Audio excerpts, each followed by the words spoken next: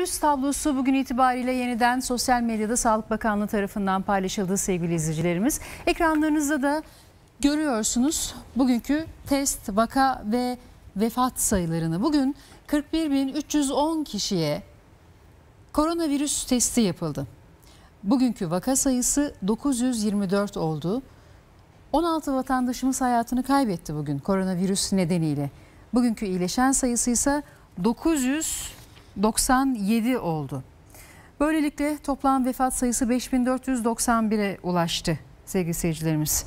Ancak toplam yoğun bakım hasta sayısı 1246. Ancak diyorum çünkü bu diğer günlere göre de devam eden artışı gösteriyor 1246. Dün de bu sayı 1231'di. Yani toplam yoğun bakım hasta sayımız da artmaya devam ediyor. Her ne kadar test sayısı ve vaka sayısı azalsa da 19 Temmuz 2020 itibariyle 41.310 kişiye test yapıldı.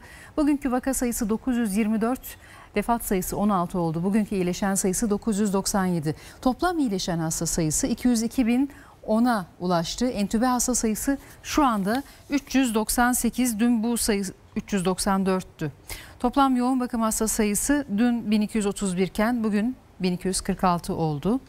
Toplam vefat sayısı 5491'e ulaştı. Toplam vaka sayısı ise Türkiye genelinde 219.641 oldu. Toplam test sayısı ise 4 milyon 273 bin 377 oldu. 19 Temmuz 2020 itibariyle Sağlık Bakanlığı'nın bugünkü sosyal medya üzerinden yaptığı paylaşımda detayları görüyorsunuz ekranlarınızda.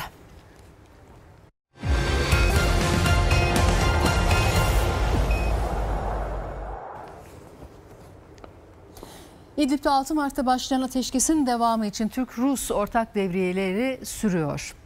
Peki bugüne kadar gerçekleşen devriye güzergahı nasıl ve İdlib'deki son durumu ne? İşte 4 aydır